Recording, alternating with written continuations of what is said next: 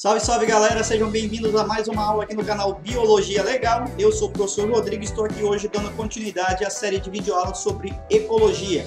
Eu já fiz anteriormente uma aula introdutória sobre as relações ecológicas, estarei deixando uns cards aí para você que ainda não assistiu. E agora estarei falando sobre as relações ecológicas intraespecíficas, harmônicas e desarmônicas.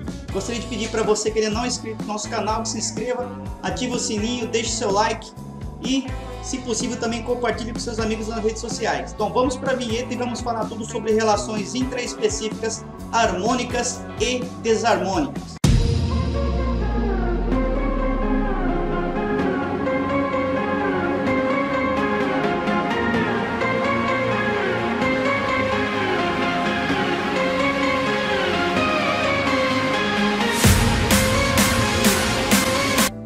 Vamos começar falando então sobre as relações intraespecíficas harmônicas.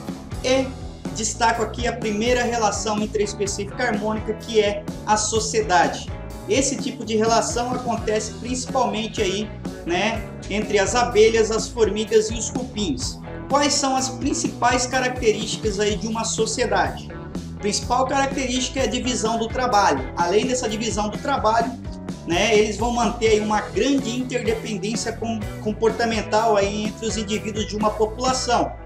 E os exemplos, como eu já disse, né, as, as sociedades aí de abelhas, de vespas, de formigas e de cupins. Então, essas são as características. Divisão de trabalho, eles vão ser formados aí por castas. Cada uma das castas são responsáveis por desempenhar um tipo de trabalho aí dentro da sociedade. E todos eles são interdependentes, eles não conseguiriam sobreviver aí, né, por muito tempo, dar continuidade à espécie se vivessem separados. Então, esta é a característica aí de uma sociedade, né? E os exemplos é são os principais no nosso dia a dia, as abelhas, onde eu vou ter uma rainha, que a finalidade dela é procriar, os operários, que têm a finalidade de trabalhar, de fazer a segurança da, da colmeia e o zangão, alguns, né, que são os machos aí que têm a finalidade de cruzar com a rainha. Então isso vai acontecer também aí, né, com as formigas e com os cupins. Aqui, por exemplo, tem os cupins soldados e aqui um, uma rainha do cupim, né? Outro tipo é a colônia. Quais são as características aí de uma colônia? A colônia, a principal característica é que elas é, os indivíduos vão se encontrar ligados fisicamente entre eles. Então, aqui, por exemplo, todos são exemplos de colônias. Né? A caravela portuguesa, o coral cérebro, aqui alguns rotíferos, né? a albélia, aqui um exemplo de colônia de alga, volvox.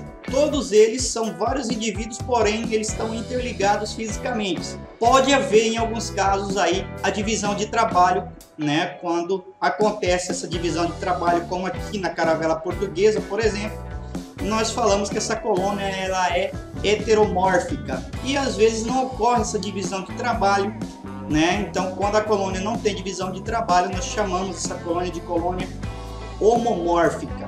Tá? Então a colônia é uma relação ecológica em que os indivíduos de uma mesma espécie estão agrupados fisicamente, ligados entre si, trabalhando aí em prol da sobrevivência do grupo, né?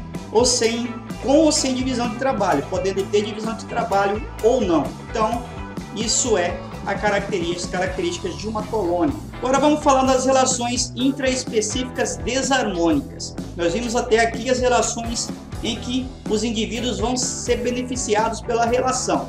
Aqui nesse caso, um indivíduo ou mais vai ser prejudicado nessa relação. O primeiro deles é o canibalismo, né? Canibalismo é uma relação em que um animal mata o outro da mesma espécie para se alimentar dele. Tá? É muito raro aí no mundo dos animais dos vertebrados, mas é muito comum aí entre as aranhas, insetos e peixes. Porém, acontece às vezes aí principalmente nos répteis, os jacarés, eles acabam comendo os filhotes de outros, né? as aranhas, viúva negra que matam né, uh, outros é, é, indivíduos da mesma espécie para se alimentar, o urso que mata os filhotes de um, de um outro macho quando encontra uma fêmea né, com um filhote. Ah, os leões fazem a mesma coisa, né? Quando encontram uma fêmea com um filhote de outro macho, eles matam é, o filhotinho para que a fêmea fique receptiva novamente, disposta a reproduzir. Ah, os gafanhotos fazem isso também, o canibalismo, e algumas tribos antigas, né, antigamente algumas tribos de uh, seres humanos aí, né, faziam também esse ato do canibalismo, né, quando guerreavam, matavam seus inimigos e se alimentavam deles. Então, isso é uma relação intraespecífica desarmônica. Outro tipo de relação intraespecífica desarmônica é a competição.